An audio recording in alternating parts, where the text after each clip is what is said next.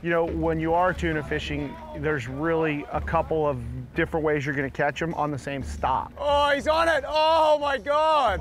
Oh, right at the boat. Get another cast out. I didn't want to pick it up. He was so hot. We're gonna roll into a school of tuna again, pretty much anywhere in the world. We're typically dragging something behind the boat, and then we're gonna have some kind of other offering for the fish, throwing lures at these fish. Which, you got the right kind there, Retchie? Oh, I'm just looking at this foamer. I don't know how big it is, but Oh, God, they keep missing. That was a smaller fish. Yeah, on the outs, Small. get- Oh, there he is. you got him? Yeah, small guy. that was a little guy, huh? Dang, that first one was not little. That was like Yeah, one, that was a proper one, eh? 150 class. Love catching tuna on top water. That's one of the most exciting ways to catch them. Oh, I just lost him. That's fine. Ooh, this feels like a good one now. Yeah, That's it's a the good right fish, that one. Woo, I'm gonna come and- look at that.